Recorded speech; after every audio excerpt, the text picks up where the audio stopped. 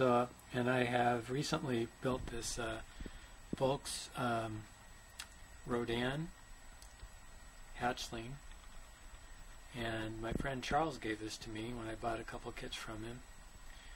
And I used uh, a small soldier I got from another friend, Matt. Uh, actually, he gave me a bunch of soldiers, and I changed it to look more like the guy in the movie scene. Got rid of the helmet and the helmet strap and all the gear he was carrying and the gun. And uh, made a little diorama. I didn't make any Mega Neurons, at least not yet, because I couldn't figure out a way that I could make such a small Mega Neuron look very well, uh, sculpting it myself. And um, I think this kit did come with Mega Neurons, or at least one or something.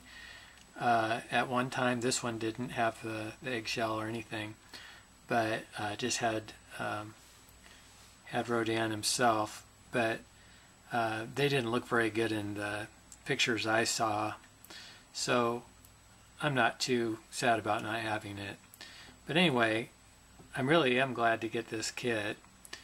It's uh, really cute uh, hatchling. I, I put a little more color in it than in the reference pictures I saw, but still made him kind of reddish. I wanted to give him a little bit more color on his beak and, and such. Um, I tried to make the base about the color that it would look like in the movie, and same with the color of the shell, with uh, kind of a uh, tan and uh, with brown spots. The Hatchling has pretty good detail and was pretty clean uh, cast for a um, an older kit, which I think it came out in the 80s, and it was pretty limited.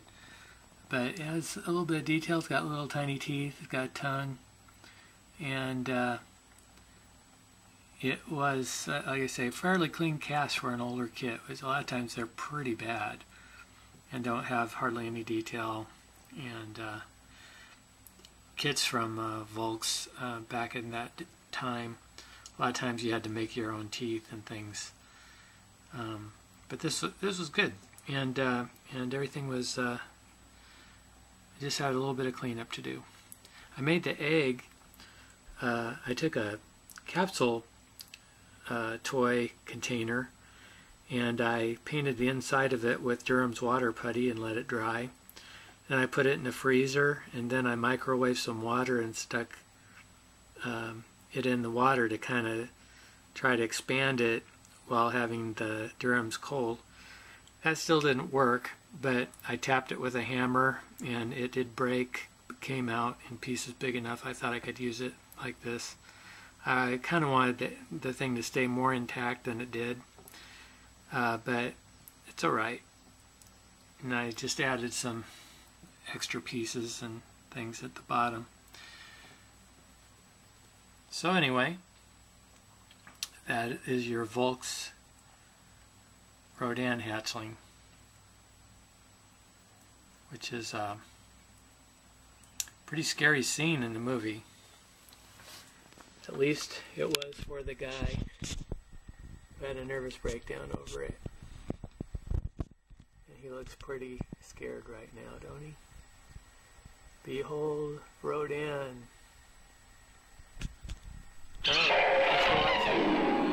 Till next time, bye.